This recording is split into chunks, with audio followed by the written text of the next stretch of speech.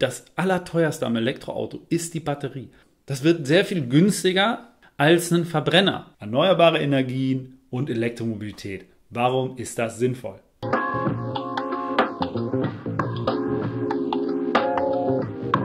Und zwar habe ich ganz viele Kommentare, vor allem bei LinkedIn bekommen. Immer mal wieder könnt ihr mir gerne folgen oder auch bei Instagram, aber immer mal wieder Kommentare unter meinen Beiträgen. Ja, Elektroautos werden sich nie durchsetzen, viel zu teuer.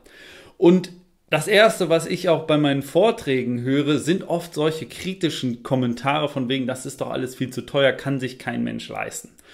Und ich versuche dann immer, den Leuten mal zu, zu, sie zu fragen, wie war das denn bei diesen Flachbildschirmen? Da haben alle am Anfang geschrien, das ist viel zu teuer, das wird sich niemals durchsetzen.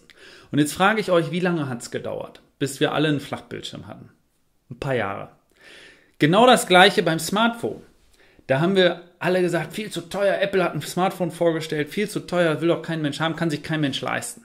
Heute haben wir 10, 15 Jahre später alle ein Smartphone und wir kriegen gute Smartphones sogar sehr, sehr günstig. Das gleiche oder ungefähr dasselbe passiert gerade bei Elektroautos. Tesla ist einer der profitabelsten Konzerne weltweit, oder beziehungsweise profitabelste Autokonzern überhaupt. Ja, also Nettomargen von äh, 7, 8, 9 Prozent sind eigentlich so dass der Goldstandard in der Automobilindustrie bei Audi, BMW und Mercedes, bei den großen Limousinen. Ja, wie größer die Autos, je teurer, desto mehr Marge haben sie drauf. Ähm, aber Tesla hat fast das Doppelte. Also 15, 16 Prozent. Und kann dadurch, weil äh, kann dadurch natürlich viel, viel, viel Wettbewerbsvorteile gewinnen. Also was passiert, wenn eine Sache am Anfang sehr teuer ist und dann sehr billig wird? Sie wird sich, wenn sie besser ist, durchsetzen. Und genau das gleiche sehen wir gerade bei den Batteriepreisen. Ihr seht mal hier eine Grafik, wie sich die Batteriepreise entwickeln. Und ich verstehe nicht, warum die Menschen diese Dinge auf so neue Sachen wie Elektroautos nicht auch ähm, äh, nachvollziehen können, weil sie haben das alles im Grunde schon ganz oft erlebt. Beim Automobil haben die Leute auch gesagt am Anfang, wird sich niemals durchsetzen. Viel zu teuer, viel zu gefährlich, brennt. Ne? Und äh, Pferde sind viel sicherer und, und äh, essen Hafer und so und äh, es ist ja auch viel günstiger. Ähm, und bei der Photovoltaik war es das Gleiche. Wir haben gesagt, es ist viel zu teuer, wird sich niemals durchsetzen und Plötzlich sind die Preise gesunken und heute ist die Photovoltaik die günstigste Methode, um Strom zu produzieren. Gleich gefolgt von Wind, also bei Photovoltaik sind wir tatsächlich ähm, im großen Maßstab schon bei einem Cent und unter einem Cent pro Kilowattstunde. Das muss man sich auf der Zunge vergehen lassen. Stromgestehungskosten, also alles, was man dafür braucht. Material, ähm, Finanzierungskosten etc. pp. Also sind wir bei einem Cent lass es anderthalb Cent sein, aber da kann kein Kohlekraftwerk, kein Gaskraftwerk, kein Atomkraftwerk auch nur in die Nähe kommen. Ja, Im Gegenteil, das wird alles immer teurer, weil diese externen Kosten eigentlich auch inkludiert werden müssten mit den CO2-Preisen. Tun sie das auch schon ein bisschen und dadurch wird das einfach teurer. Ne? Bei Atom vielleicht nicht ganz so viel äh, CO2-Preise, aber Atomstrom an sich ist schon einfach eine unfassbar teure Geschichte, weil wir da eigentlich die externen Kosten, sprich Versicherung oder Risiko irgendwie mit reinpreisen müssen. Dann wären wir bei Stromgestehungskosten bei Atom von 15, 16. Andere sagen 30 Cent Stromgestehungskosten. Da kommen Steuern und allen möglichen äh, äh, Netzentgelte, blablabla, noch gar nicht mit drin. Ja, also noch gar nicht mit drin. Nur die Stromgestehungskosten. So, das heißt, wenn eine Sache bei einem Elektroauto günstig wird, die teuer ist heute, und das Allerteuerste am Elektroauto ist die Batterie. Was passiert denn dann mit diesem Auto? Das Auto selber wird günstiger. Das wird sehr viel günstiger in 10, 15 Jahren als ein Verbrenner. Obwohl man den immer noch optimieren kann irgendwo. Und die ganze äh, Batterietechnologie wird auch viel, viel besser. Was meine ich mit viel, viel besser? Also einmal werden die Batterien billiger, das heißt, wir kommen auf Stundenpreise von äh, Kilowattstundenpreise von vielleicht nur noch ein paar Euro irgendwann, ja, wo wir heute noch bei 70, 80 Euro sind pro Kilowattstunde, ähm, wird es wesentlich günstiger, wo wir bei ein paar Euro landen werden. Und dann kommt noch hinzu, dass diese neue Technologie günstig wird, aber auch besser wird. Das heißt, die Batterien werden viel effizienter werden. Das heißt, um einen Faktor 3 ungefähr besser, dreimal so viel Energie auf einem Drittel des Platzes. Das heißt, ihr müsst euch vorstellen, auf einer, in, in, in, in 15 Jahren, äh, 10, 15 Jahren haben wir Batterien, die sind nur noch ein Drittel so groß, aber dreimal so viel Energie drin. Das heißt, in einem 50 Kilowattstunden Akku heute von einem BMW i3 passen dann äh, das Dreifache an Energie, beziehungsweise vielleicht sogar das Sechs- oder Neunfache an Energie, wenn er denn in der Größe bleibt, wo er jetzt ist. Das muss man sich auf der Zunge zergehen lassen. Und das beachten ganz, ganz viele Leute halt nicht, wenn sie mir schreiben, ne, das ist doch überhaupt nicht ähm, äh, realistisch, dass das irgendwann mal kommt. Und dann frage ich immer so, ja, bei den Laptops am Anfang hattet ihr auch nur eine Stunde oder eine halbe Stunde Akkulaufzeit. Die Dinger waren mordsschwer und man hat dann diese 10 Kilo irgendwo mit sich rumgeschleppt. Und heute, also nicht so viel später, als wie die ersten Akkus auf dem, äh, ersten Laptops auf den Markt kommen, wie lange hält heute euer Laptop? Nicht mehr eine Stunde, sondern 10 Stunden oder 15 Stunden. Also und die Batterien sind ja nicht größer geworden. Die Akkus oder die Akkupacks an den Laptops sind nicht größer geworden und trotzdem können sie viel mehr leisten. Und das ist sowas, was ich halt nicht verstehen kann, warum die Menschen das alles erleben, aber bei anderen Sequenzen, und schreibt es mir gerne in die Kommentare, bei anderen Bereichen, da ist es völlig abwegig, dass man sowas überhaupt hinbekommt. Ne? Ähm, also dieses Bildschirmfernsehen, äh, Beispiel, ne? Röhrenfernseher, äh, Flachbildschirme habe ich ja schon gebracht ähm, und ein dritter Grund ist, also wir haben den ersten Grund, die Preise von den Batterien fallen. Der zweite Grund ist, die Effizienz wird enorm steigern äh, und die Batterien werden besser. Und der dritte Grund ist, die Komplexität von einem Verbrennungsauto oder Wasserstoffauto ähm, oder auch ein Auto, was mit E-Fuels fährt, ist ja, ist ja auch ein Verbrenner. Die ist so hoch, dass die Kosten dafür, das zu bauen, einfach zu hoch sind, um damit konkurrenzfähig zu bleiben auf dem Markt. Ne? Tesla, VW, die haben das erkannt. Ne? Die wissen, okay, mit einer ganz simplen Technologie, also Batterie und Elektromotor, kann ich irgendwann auch mit Robotern die Sachen zusammensetzen. Ich kann die Teile auf ein Minimum reduzieren. Also jetzt mal als Beispiel. Tesla hat ähm, ja diese, diese großen ähm, Gussteile, die sie ja jetzt verwenden, damit sie einfach sich ganz viele Einzelschritte sparen in dem Prozessschritt ähm, weiter vereinfacht haben. Oder ein anderes Beispiel bei einem Audi, Standard Audi oder BMW, BMW, äh, 5er BMW, da habe ich, meine ich, äh, 36 Kilometer Kabel, Kabelbäume in dem, äh, in dem Auto drin. 36 Kilometer. Und wie viel hat Tesla in einem, in einem Auto, also Model S? 7 Kilometer. So, also ihr merkt, komplex, nicht komplex. Was ist teuer? Die 36 Kilometer sind teuer. Die 6 Kilometer sind sehr viel billiger. Und was ist teuer? Viele Prozessschritte sind teuer. Wenig Prozessschritte sind billiger. Und dann merkt ihr, hm, okay, wenn so eine Batterie plötzlich 1000, 2000 Kilometer weit fahren könnte, sag ich mal mit 200, 300 Kilowattstunden auf dem gleichen Platz, ähm, dann wird es halt interessant. Und wenn ich dann auch billig das produzieren kann, wird es noch interessanter. Ähm, und bei einem Wasserstoffauto jetzt als Beispiel, das ist ja nichts anderes als ein Elektroauto, da habe ich die Tanks, da habe ich eine Batterie, da habe ich eine Brennstoffzelle, die ja den Strom in die Batterie lädt, damit dann die Batterie den Elektromotor beladen kann. Und dann habe ich noch den Elektromotor. Also ich habe vier Komponenten im Wasserstoffauto, die auch relativ anspruchsvoll sind. Na klar, natürlich, die Technik ist erprobt, kein Problem. Ähm, die Tanks sind relativ schwer, sind klobig, ne? ähm, aber Brennstoffzelle gibt es schon relativ lange und Elektromotor und Batterie auch. Batterie ist viel kleiner, aber ich habe hier vier Komponenten, die ich da irgendwie reinkriegen muss, die ich da reinbauen muss, die nicht so leicht zu installieren sind, wie als wenn ich irgendwo eine Batterie ransetze, zwei Kabel zusammenklippe, an den Elektromotor fertig. Nein, da habe ich halt viel mehr Komponenten, die ich irgendwo miteinander verbinden muss und natürlich auch mit Drücken arbeite, ähm, wo eine, ne, mit ein paar hundert Bar bei so einem Wasserstofftank, ähm, wo, eine, wo, eine, wo, eine, wo, eine, wo eine Batterie halt nichts mit zu tun hat. Ne? Also, das heißt, diese Komplexität führt dazu, dass es sich nicht lohnt, auf lange Sicht hier ähm, weiter Verbrenner zu bauen oder auch Wasserstoffautos. Ja? Das wird vielleicht eine Nische sein und vor allen Dingen so im Schwerlastbereich äh, kann ich mir gut vorstellen, dass das da auch Einzug halten wird, vor allen Dingen, wenn wir viel Erneuerbare haben und den Wasserstoff extrem günstig dann auch produzieren können. Da glaube ich, gibt es dann Schritte weiter nach oben und das ist ja der vierte Punkt.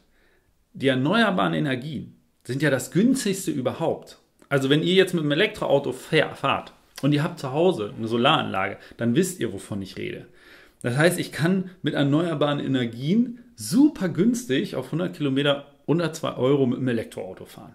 Ne? Klar, wenn ich jetzt mit einem Tesla unterwegs bin für meine, für meine Firma, ähm, ist das teurer, äh, keine Frage. Aber immer noch viel günstiger, als jetzt mit dem, mit dem Benziner oder Diesel durch die Gegend zu fahren. Ne? Da hatte ich früher, ich fahre ja manchmal 2000 Kilometer in der Woche mit einem Elektroauto. Ne? Also jeder, der mir erzählt, oh, das geht alles noch nicht, ne? und das mache ich jetzt seit drei Jahren, ähm, und äh, das Auto ist jetzt von 2019, Freunde, ne? und das lädt, da sieht man auch diese, diese Geschwindigkeit, wie gut die Batterien damals schon waren. Das lädt noch mit 250, 260 kW am Anfang in die Batterie. Wird dann langsamer, aber 250, 260 kW, wenn ich so bei 3, 4 Prozent an, an einem Schnelllader ankomme, da stehe ich nur 15, 20 Minuten. Ich lade auf die Hälfte oder 60 Prozent voll und fahre zum nächsten.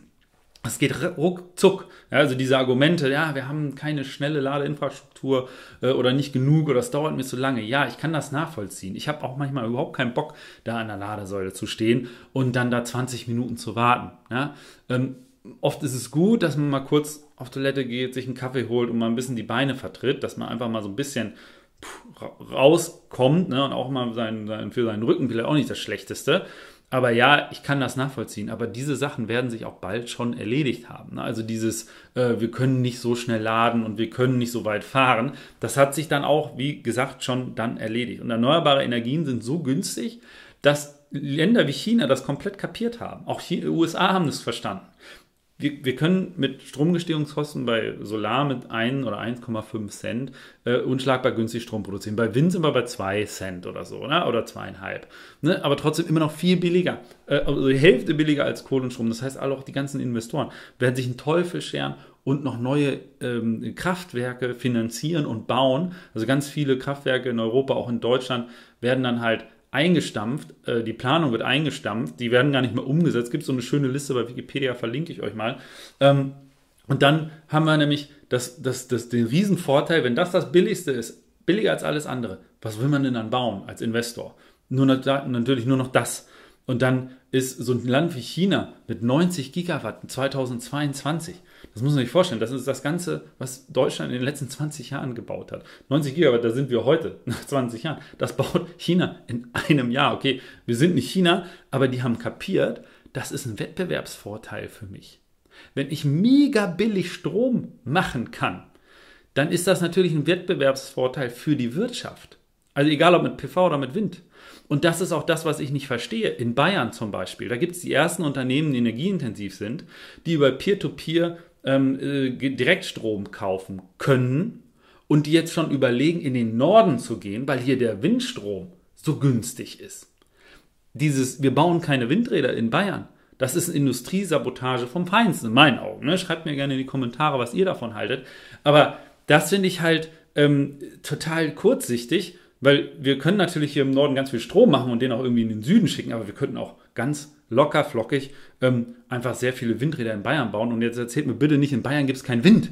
Leute, ja, das mag vielleicht nur 80 Prozent von dem sein, den wir hier oben im Norden an der Küste haben oder in Niedersachsen.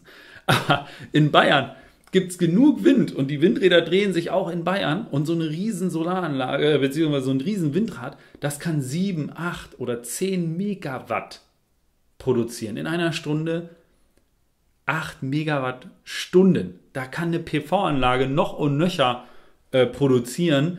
Ähm, das, das, das, ne? Also was, was, was wir für riesen PV-Anlagen bauen müssten, um diese Windenergie ähm, sozusagen einzuholen oder zu überholen, das ist ja das Geniale. Deutschland verbraucht ja im Jahr im Schnitt so 550 Terawattstunden oder 530 Terawattstunden. Blende ich euch hier mal ein.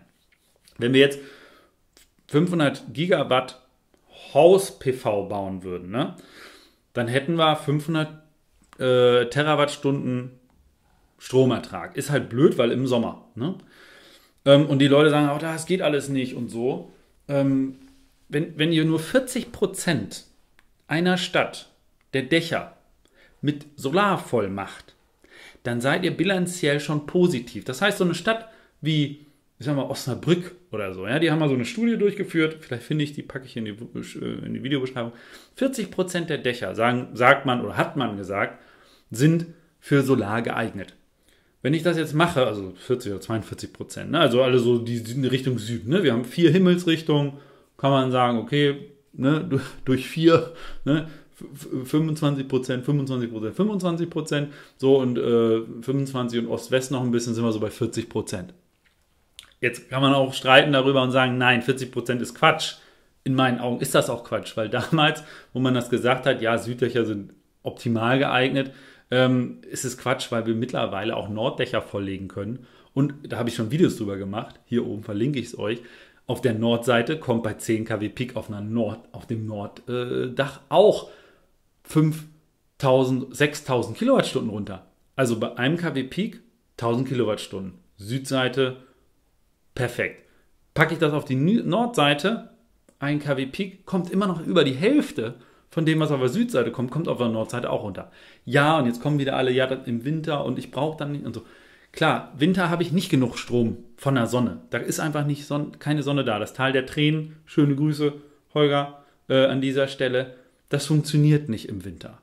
Aber das Coole ist, im Winter haben wir Wind in Deutschland.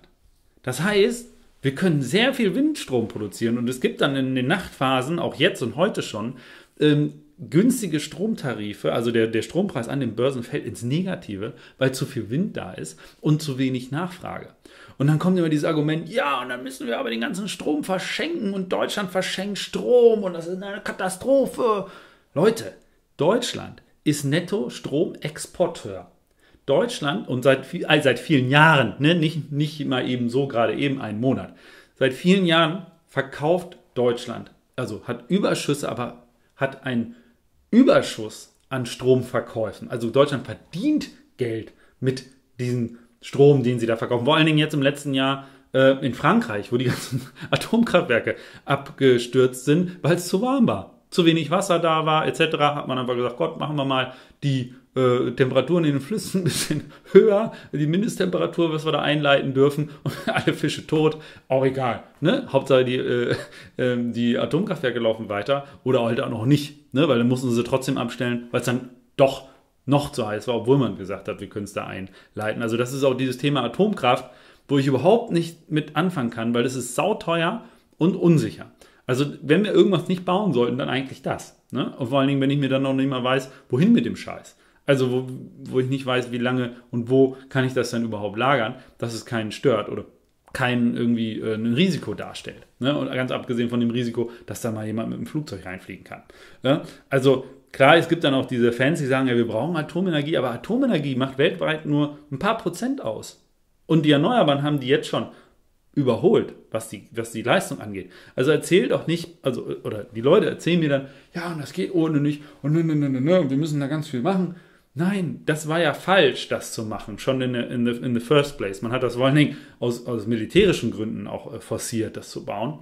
Aber wenn man auf die reinen Kosten geguckt hätte und der Staat hätte gesagt, wisst ihr was, ihr kommt mal für die Kosten selber auf, Transport, für Brennelemente, Lagerung Brennelemente, Risiko, selber haften. Ja, also wenn da mal was hops geht, äh, Tschernobyl oder, oder ähm, äh, Fukushima, ja. Kein Versicherer der Welt sichert so ein Atomkraftwerk. Warum? Weil wenn er es macht und wirklich mal was passiert, ist er pleite. So. Und das ist so das, was ich nicht verstehe, wie dann die Leute an solchen Sachen dann immer noch unbedingt festhalten können. Und jetzt habe ich ja schon ein paar Zahlen genannt. Also 600 Gigawatt PV bräuchten wir. Auf den Dächern wäre das eigentlich gar nicht so das Problem, 200, 250 oder so 300 ähm, Gigawatt da drauf zu bekommen an Leistung. Das sind so, wenn man 200 Gigawatt installiert, 200, ähm, das sind dann äh, 200 Terawattstunden, ne, kann man so sagen. Und 600 Gigawatt, äh, da braucht man natürlich auch vielleicht noch äh, ein bisschen Freifläche, also brauchen wir auf jeden Fall. Und auch ähm, so Agri-PV, diese PV-Zäune, haben wir auch schon Videos drüber gemacht. Auch eine richtig gute Geschichte. Und ähm, wir brauchen natürlich alle, alle Dächer voll und äh, eventuell auch ähm, da, wo sowieso schon betoniert ist. Also Straßen, Autobahnen, ähm, Parkplätze und vor allen Dingen alle Dächer. Ich verstehe bis heute nicht, warum nicht jeder Ikea, äh, jeder Lidl, jeder Aldi diese riesen Dächer haben, warum die nicht da riesen PV-Anlagen drauf haben. Ein paar haben es ja schon gemacht oder ein paar haben schon verstanden bei Lidl, Aldi und so. Könnt ihr mir auch gerne mal in die Kommentare schreiben, würde ich auch gerne mal drüber berichten. Ähm, äh, die haben es verstanden, die haben dann Solaranlagen gebaut, weil die brauchen ja den ganzen Tag über immer Strom. Ja? Und Ikea äh, könnte ja auch den ganzen Strombedarf locker decken mit so einer PV-Anlage drauf. Äh, und wenn wir dann 550 Terawattstunden Strom haben oder hatten, jetzt, ne, oder 539 Terawattstunden, wird das natürlich ansteigen. Wir haben die ganze, dieses ganze Problem Sektorenkopplung. Ja, das heißt, wir brauchen ganz, ganz viel Strom, weil wir irgendwann die Wärme auch mit Strom machen müssen und auch die Mobilität dann mit Strom machen müssen. Also Elektroautos, habe ich gesagt, werden immer billiger und immer besser. Das heißt, wir werden irgendwann alle mit einem Elektroauto fahren. Und wahrscheinlich, wenn der Strom so billig ist, werden wir wahrscheinlich auch irgendwann anfangen. Also jetzt 2025 sind alle, ab 2025 sind alle Energieversorger verpflichtet, flexible Strompreise anzubieten. So, flexible Strompreise heißt, es gibt viertelstündlich immer einen unterschiedlichen Strompreis. Morgens ist der teuer, weil da ist noch nicht so viel Sonne da, aber alle wollen duschen, aufstehen, Kaffee machen und so. Äh, mittags wird es dann günstiger, weil da kommt dann die Sonne raus und nachmittags wird es dann nochmal ein bisschen teurer. Ähm, und nachts ist es extrem billig, weil wir viel äh, Strom produzieren mit Wind ähm, und äh, da dann auch ähm, äh, wir keine Nachfrage haben. Ne? So, äh, und was wollte ich jetzt noch sagen? Genau. Ähm, vor allen Dingen bei diesen flexiblen Stromtarifen ist es natürlich schlau, wenn wir dann auf äh, eine, eine, Wärmepumpe gehen oder halt Split-Klimageräte, äh, dass man halt, wenn es günstig ist, die einfach mal die Wärmepumpe anschalten und den Warmwasserspeicher als Pufferspeicher nutzen. Und jetzt fragt euch doch auch mal, also zu diesem ganzen Thema, soll ich eine Solaranlage bauen oder nicht? Fragt euch doch mal, wie wahrscheinlich ist es, dass ihr in den nächsten 20 oder 25 Jahren anfangen werdet, elektrisch zu fahren. Ob, ob mit einem Auto oder beide Autos, weiß ich nicht, manche haben ja zwei. Ähm, wie wahrscheinlich ist das, dass ihr ein Elektroauto habt? Mindestens eins im Haushalt. Oder wie wahrscheinlich ist es, dass ihr in den nächsten 25 Jahren anfangen werdet, mit Strom zu heizen, wenn denn der Strom auch so billig wird? Also die Wahrscheinlichkeit, dass das passiert, aber schreibt es mir auch gerne mal in die Kommentare, die ist doch wahnsinnig hoch, oder nicht? Also, das heißt, eine Solaranlage zu bauen, macht unfassbar Sinn. Und dann noch ein Thema zu, dem, zu den Batterien. Ähm, warum sich Elektromobilität durchsetzen würde, warum das smart ist. Wir haben die Möglichkeit bei den Batterien, das zu 90% zu recyceln, also zu über 90%. In 20, 25 Jahren wahrscheinlich sogar ähm, bei 100%. Im Moment ist es so, 10 Jahre können die in einem Auto leben ungefähr, dann nochmal 10, 15 Jahre als stationärer Speicher weiterleben. Haben wir Videos drüber gemacht, über diese stationären Großspeicher, die im Moment noch mit Zero und Second, Zero Life Batterien gebaut werden. Aber ich habe auch Videos über das Recycling gemacht. Was in den Medien da geistert, ist meistens dieses ähm, heiße oder dieses äh, ähm, thermische Verfahren, wo einfach alles zusammengeschmolzen wird. Äh, das Elektrolyt wird verbrannt, ähm, 30% wird zurückgewonnen, aber es ist wahnsinnig energieintensiv und eine, eigentlich eine ziemliche Umweltkatastrophe, das so zu recyceln. Es gibt aber auch so ein hydraulisches Verfahren, da wird das einfach klein gehäckselt. Und da kann ich 70% machen, macht ja Düsenfeld in Braunschweig, da wo wir waren, das Video habe ich ja euch ja verlinkt. Das machen die ja schon. Die anderen 20% machen sie noch nicht, weil die Rohstoffpreise noch nicht teuer genug sind, beziehungsweise weil der Gesetzgeber noch nicht gesagt hat, kann ich das äh, recyceln oder nicht. Und genau das gleiche Thema, ähm, also der Gesetzgeber muss einfach nur sagen, bitte 90% Pflicht Recyclingquote und dann kann man das auch zu 90% recyceln. Genau das gleiche bei Solarmodulen. Wir haben natürlich einen riesigen äh, Output an Solarmodulen, wenn wir das alles auf die Dächer bringen und jetzt kommen auch schon die ersten nach 20 Jahren, die ja von den Dächern wieder runterkommen oder weil sie kaputt gehen beim Sturm. Solarmodule kann man aber auch recyceln, wissen auch ganz viele Leute nicht. Und man kann die auch ziemlich gut recyceln. Und Windkraftanlagen auch. Was dann da durch die Presse ging, kann man nicht recyceln. Nein, man kann das recyceln, aber auch da wieder der Gesetzgeber gedacht, naja, machen wir mal ein Gesetz, 20 Jahre EEG, aber das Recyceln haben wir noch 20 Jahre Zeit, da brauchen wir uns keine Gedanken machen. Und da waren die 20 Jahre rum und keine Regierung hatte das mal für nötig befunden, da eine gute Regelung hinzubekommen. Nämlich genau das, dass man sagte, hier, pass mal auf, wenn ihr so ein Ding hinbaut, ähm, dann müsst ihr das auch recyceln, wenn es dann fertig ist, oder abtransportieren und recyceln. Weil da sind Rohstoffe drin, die man gut gebrauchen kann. Und das Coole ist bei den Batterien, aus diesen Rohstoffen kann man ja neue, ähm, kann man ja neue Batterien machen. Und bei den, bei den Windanlagen und auch bei den PV-Modulen ja auch. Das heißt, die Rohstoffe werden nicht schlecht. Das bedeutet, wir können irgendwann eine Kreislaufwirtschaft hinbekommen. Das heißt, wir müssen irgendwann nicht mehr buddeln. Und das ist das Geile an den erneuerbaren Energien, beziehungsweise an Elektromobilität, an Batterien, dass wir einfach diese ganze Problematik abstellen können. Wir können das nicht mit Diesel, äh, mit, mit Benzin oder mit Gas oder mit Kohle. Da müssen wir was aus dem Boden holen, verfeuern, das unglaublich ineffizient. Bei so einem Kohlekraftwerk äh, 30 Prozent äh, wird an Energie nur genutzt, weil wir machen da ja wieder nur Wärme, wie beim Elektromotor, äh, wie beim Verbrennungsmotor auch. Ne, wir, wir hauen da Benzin rein, das ist eine Riesenheizung, die warm wird und 30 bis 20 Prozent geht in den Vortrieb.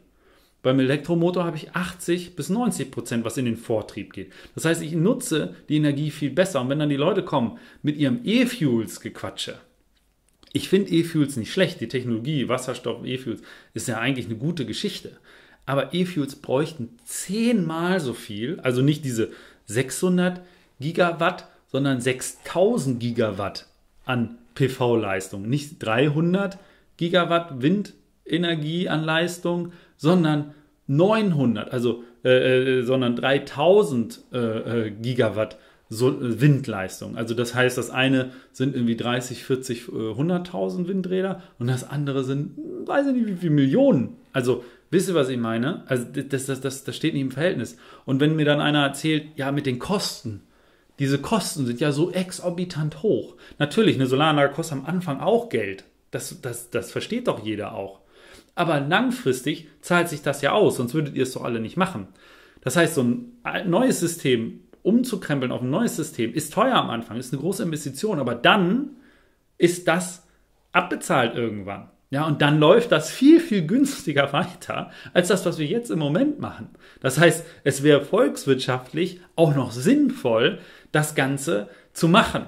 Also für die großen Energiekonzerne natürlich nicht. Ja, für die nicht. Aber für die Volkswirtschaft, für die, für die Bevölkerung wäre es super, wenn wir eine sauberere Luft hätten, wenn wir günstigere äh, Energiekosten, also Stromkosten bekommen würden ähm, und uns dann auch selber die Wärme weniger kostet, weil natürlich nachts, wenn ich sogar Geld dafür bekomme, dass ich Strom nutze oder in den Speicher schicke oder in mein Elektroauto, ist das natürlich eine viel, viel bessere Angelegenheit. Da haben dann eher die, die, die, die Firmen ähm, das Nachsehen, weil die natürlich dann an ihre Schichten gebunden sind. Da müssen sie die Maschinen laufen lassen. Die können nicht dann nachts sozusagen die Leute immer zur Arbeit einbestellen, weil dann der, genau der Strom günstig ist. Ne? Aber vielleicht wird sich das auch so ein bisschen verschieben, beziehungsweise will man das den Leuten auch vielleicht nicht antun, dass man dann einfach immer nur noch Nachtschichten hat, weil da gerade der Strom günstig ist, wegen dem ganzen Wind. Also, um es zusammenzufassen. Es gibt viele Gründe, die dafür sprechen, dass die erneuerbaren Energien sinnvoll sind. Ne? Zum, und auch Batterien und Elektromobilität sinnvoll ist und sich auch durchsetzt. Wir sehen das jetzt schon, weltweit sind die Installationen von PV und Wind massiv nach oben gegangen und jetzt, wo sie halt günstiger sind als alle anderen, wird das noch steiler werden, die Kurve. Und das ist auch gut so. Das heißt, es besteht noch die Hoffnung, dass wir die Kurve kriegen bei der Energiewende und halt diese ganze Effizienz natürlich auch viel besser ist. Die Effizienz von Batterien, Elektromotoren sind besser. Von Wärmepumpen aus einer Kilowattstunde Strom kann ich drei bis fünf Kilowattstunden Wärme machen. Ne? Und auch bei Split-Klimageräten, die wesentlich günstiger sind, haben wir auch schon Videos drüber gemacht. Auch eine Kilowattstunde Strom, drei bis vier äh, Stunden Wärme. Das wird viel effizienter und auch der Strom vom eigenen Dach.